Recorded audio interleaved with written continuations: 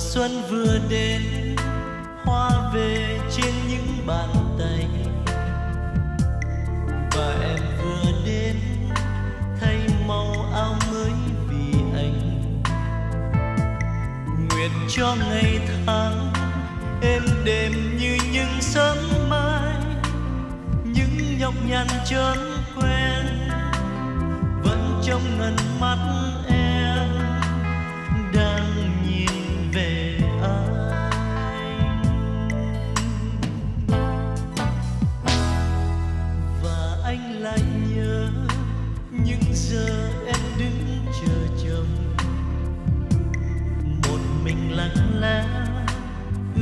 Lạnh trong mưa vì anh.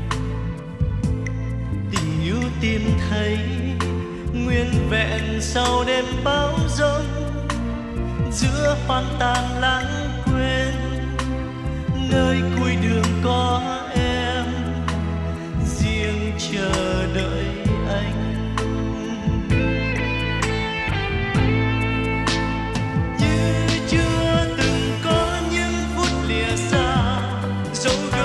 肩膀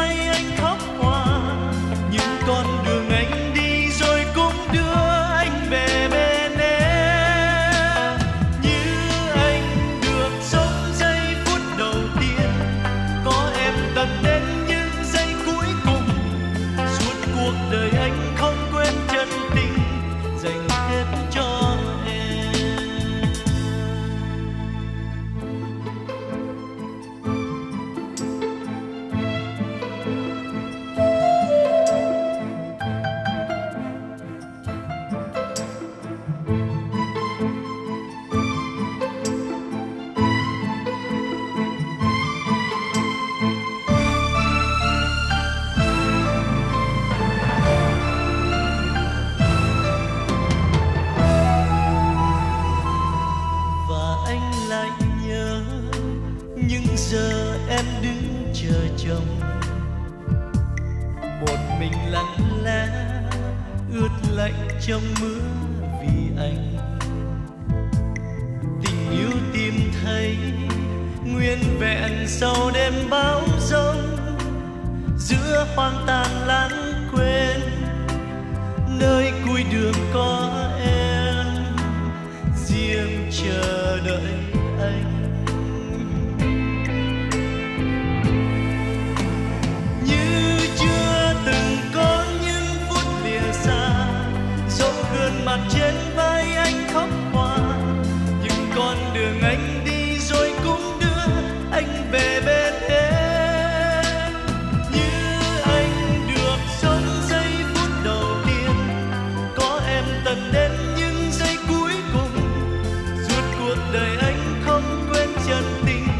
dành hết cho em.